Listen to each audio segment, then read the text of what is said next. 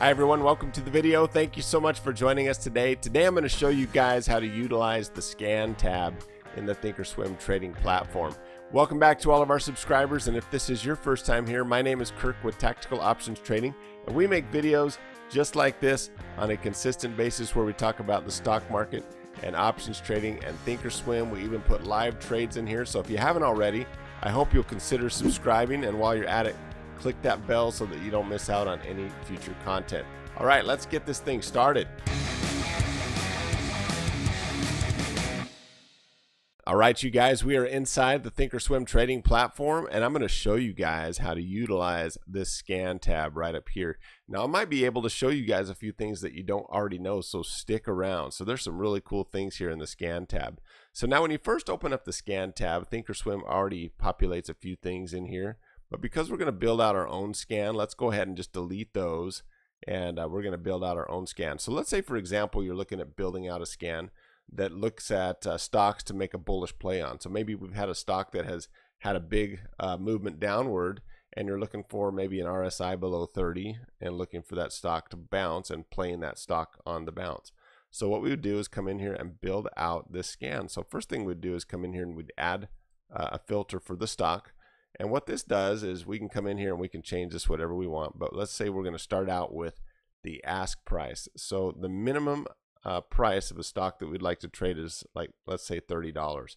So anything 30 and above, uh, it's going to scan for stocks anything $30 and above. Now I like to scan for uh, stocks that have a lot of volume as well because I like to trade high volume stocks which is creates a lot of liquidity. So we're going to go ahead and this time we're going to create add study filter. Now what that add study filter does, it's going to come in here and we can pick a, a filter based on a study. So we're going to come in here, click volume and average volume. Now this uh, automatically just filters for uh, looking at a 50 period moving average, looking back over 50 days, we're looking at the average volume to be greater than 1 million on these uh, on these stocks. So lots of liquidity. Now we're going to come back in here to add filter, uh, add study filter, and we're going to come in here and find that RSI. So the RSI is going to be down under crossovers and we're going to come into crossovers, click RSI crossover down here, and then that's going to populate that in there, and we'll just read that across. So it says RSI crosses above 30. Actually, we want that to be below 30, so we're going to just drop that in there below 30. So anything that's any stock that's $30 and above that has a lot of volume and it has an RSI below 30, this is going to scan for it. So now when we click scan, you can see that it automatically found a few stocks right here that meet that criteria. Now here's the cool thing in Thinkorswim. If we just came right over here, we could add this to a watch list or save this as a watch list. Now the problem with just saving this as a watch list is that when you open up that watch list, all it's going to do is open up these same few stocks that we scanned for right now. So let's say you opened up this, let's say you saved this watch list uh, today and you wanted to look at it tomorrow. Well, it's going to be the same stocks. Well, how would it be to be able to uh, set this scan up so that when you open up that watch list, whatever stocks meet this criteria are in your watch list. So here's how you do that. So come right up in here uh, to this menu and you're going to hit Save Scan Query. Now we're going to name this Save Scan Query whatever you want. You know, RSI below 30. I already have one of those set up in my in my watch list, so I'm going to change this up.